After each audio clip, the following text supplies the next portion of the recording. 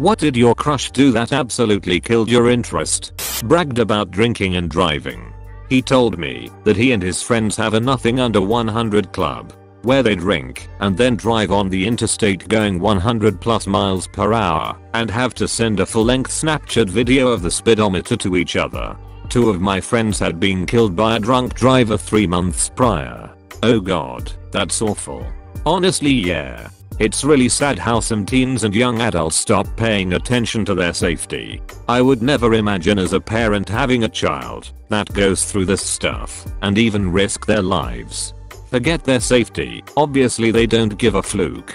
But others? Innocent PPL just going their way dying BC of these flukers? Revealed his list of conquests. Not even my brother knows how many women I've slept with. Then he offered to take my virginity in the back of his pickup truck. I passed. He couldn't have thought he was special for offering to take your virginity? Did you say thanks for the same offer as every other man, since I was 15? A pickup truck at that. Did he entice you with a seductive improvement of the liner for the bed of the truck? Or did he make a stupid joke about it being a bed? I can hear this conversation and I sympathize with you in solidarity of suffering many of my own. He talked about how he and his friends used to abuse farm cats. They talked about one that was buried and then run over. I did a quick 180 and absolutely hated him. Well that's definitely serial killer territory. Is there any actual evidence of a significant correlation between serial killers and animal torture? Or is it just a meme slash urban legend? There's several instances where this has happened yes. It shows lack of remorse, lack of attachment. Attachment disorders stem into personality disorders. He tried to discreetly take photos of my feet. Nothing against people who are into that, but the way he was going about it was super creepy. Yikes. Double yikes. I had a girlfriend once who hooked up with a foot fetishist at the Fetish and Fantasy Ball in Vegas about 10 years ago. They never dated, but he paid her for pics of her feet for months. She said it was the most honest relationship she'd ever had. Lol was more honest than asterisk your asterisk relationship with her. Openness about kinks is pretty key in my mind. Why hide what you're into with the people who enjoy sharing in your pleasure? Haha, I think she meant with the opposite sex. We were just friends, and very straight. Lol, makes sense now. She asked if things didn't work out, if I would mind, if she went out with my roommate. I said I couldn't possibly do that to him and left. Quick, we are gonna need an ambulance for this burn. That burn is radiating high levels of heat. Her heart will be fine at least. She clearly didn't have one. Chewed her food with her mouth open. Placed the tip on the table before we'd received service. Before using it as a threat. Real ugly. Like this $20 tip stays here if you keep my water refilled. There are humans who will put out multiple bills and remove one every time they are displeased. Real charmers. Stole from a homeless person. We were walking together downtown and she saw a bucket of coins in front of a pharmacy. She just scooped it all up and kept walking.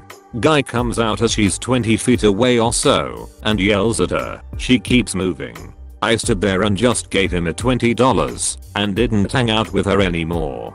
We were 14 and 15. It was very nice of you to give him money. I can't imagine why someone would steal from a homeless person. I lived in a family shelter with my son for 9 months last year. The staff regularly stole from the residents. Someone kept coming into my locked room. All staff have master keys and taking electronics. I'm talking about USB chargers and power banks. Over and over again. It sucked. We really relied on one simple thing. Power. USB. It's hard being down. That's slow. Hopefully you're in a better situation these days. She asked me if I was good with kids because she was pregnant with her ex and that's she's not good with kids. It was the first date. No way dude. What was your response? I told her that I'm not comfortable raising a child that isn't mine and that it's not gonna work out. After my response she lost her shit screaming that I was a heartless piece of shit and that all men are the same. Kissed me and then, after he pulled away, told me he has a girlfriend. The old razzle dazzle?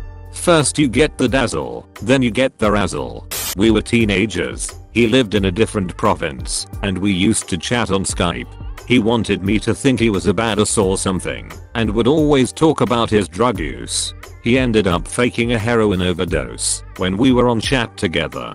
I was hysterically crying and freaking out thinking I was watching someone dying and was trying to figure out how to call 911 in another province when he snapped out of it and told me he was actually okay. I didn't talk to him much after that. Got him. What a loser. He was about to commit suicide. Suicide is badass. He just likes to jump I guess. His name is Rudy.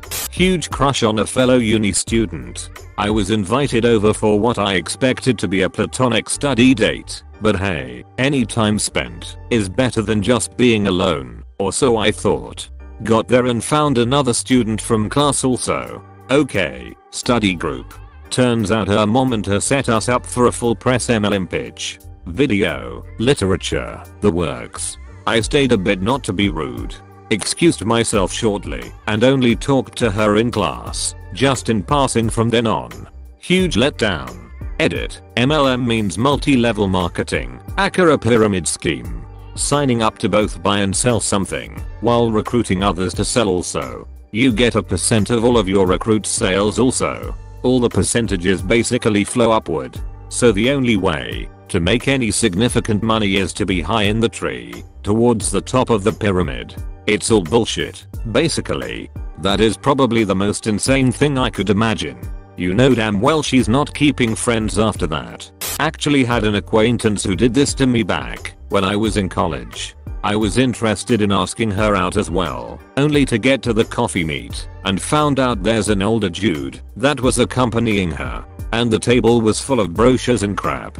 I immediately recognized that it's her MLM pitch and so I just stood up and left. It definitely killed my interest on the spot she got scammed a decent chunk of her savings at the time, but the good thing was that I eventually talked her out of it with the help of some other friends in common social circles. We became friends and even dated for a bit. The bad thing is that I recently discovered she started peddling MLM health products again, those essential oil type of thing, and I fully expect her to lose a ton of money once again. Fluke MLM.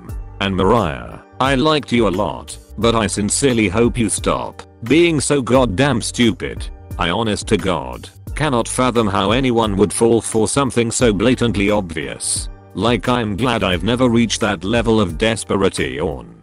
Kept arranging times to talk and whatnot, then always forgot, or was not available. I've had the same thing happen to me. She would always text me and ask if I could chat at a certain time. Of course I would agree, then when I called she would have her phone off or only answer 5% of the time. I really liked her too. So I was just like WTF. If you say you want to talk at so and so time, you know, answering the phone might help. I had this girl text me, not me text her, 5 days in a row asking to hang out and stuff. I would say yes, then ask what she wanted to do. I would never get a response. I don't understand how you can ask somebody to hang out and then just ghost them. And I only kept getting my hopes up because she had some B's excuse to go with it. Bullied the quiet kid in our class. What a jerk. And it's such shame that she stooped to those levels cause she seemed like a sweet girl. The moment I saw her do that I lost it with her cause the quiet is genuinely a nice guy still friends to this day due to our mutual love of anime and gaming. As a quiet guy who tries to be genuinely nice. Thank you. This was years ago, on a first date. Tried to convince me to quit my job and put all my savings into gold bars. Then demanded I'll let him read my tarot cards to see if we'd be a good fit. Nope nope nope. Another controlling type. I I. Yee. I don't get washing. I just don't really like taking a shower or a bath or anything. I can smell this quote. His sister actually approached me and let me know that he was once arrested for locking their other pregnant sister in their basement. Went on a coke binge while she desperately tried to get out and went outside to beat their unsuspecting neighbor's van with a golf club. That was a big ol' nope. Sister's a legend BTW. Edit. Thank you all for the cake day messages. Talk non-stop about himself and his accomplishments and never ask me one question about myself. experienced this, but he would ask me questions about myself, and after one line from me, would take over the conversation and somehow direct the spotlight from my answer back onto himself, almost competitively. Turned out to be the person eating everyone else's food from the break room fridge. My sandwich. You ate. My I I I sandwich? Told me he was only being nice to me because he was interested in a friend of mine. I see his Facebook posts now. He is dumber than a box of rocks on a treadmill. I'm not sure why the box of rocks on the treadmill is dumber than the box of rocks not on a treadmill, but I accept the metaphor. I was just thinking to myself shit, I'm not dumb for not understanding this metaphor am I? She got blackout drunk at a party and violently shat her pants. The smell alone completely turned me off of any interest I had. Violently oh, Mayo. I've been talking to a guy online for a while now.